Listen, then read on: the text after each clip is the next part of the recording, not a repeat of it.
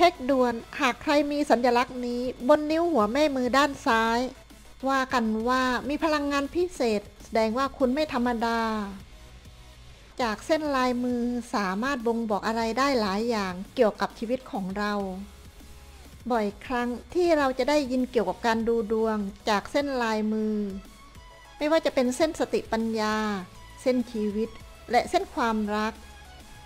การดูเส้นลายมือไม่ใช่ว่าใครก็จะสามารถดูได้ ต้องมีการศึกษาด้านนี้มาโดยตรง ถ้างั้นเรามาดูบทความนี้กันเลยดีกว่า แต่ก่อนที่จะดูให้เพื่อนๆลองสังเกตที่นิ้วโป้งด้านซ้ายว่า มีตาวิเศษแบบนี้หรือเปล่า มาดูกันว่าตาวิเศษนี้คืออะไร สิ่งสิ่งนี้ก็คือการบ่งบอกว่า คุณมีพลังพิเศษ ปกติแล้วเวลาที่ดูลายมือมักจะดูที่ด้านซ้ายเสมอ ถ้ามีตาวิเศษที่นิ้วแบบนี้ แสดงว่าเป็นคนตรงไปตรงมากับความรู้สึก หรืออีกในหนึ่งคือการมีสัมผัสที่6นั่นเอง แต่บางคนก็ไม่ได้มีตาวิเศษเพียงแค่นิ้วโป้งด้านซ้ายเท่านั้น นิ้วโป้งด้านขวาก็มีเช่นกัน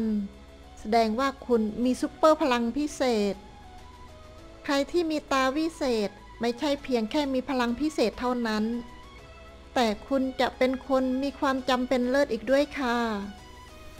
คนที่มีตาวิเศษที่มือ เพื่อนๆมักจะไม่กล้าอยู่ใกล้คุณ เพราะคุณเป็นคนมี sixth senseไม่ว่าคุณจะมีหรือไม่มีตาวิเศษที่นิ้วโป้ง แต่ขอให้คุณรู้ว่า คนที่มีตาวิเศษจะเป็นคนที่มีพลังวิเศษหรือซิกเซนนั่นเอง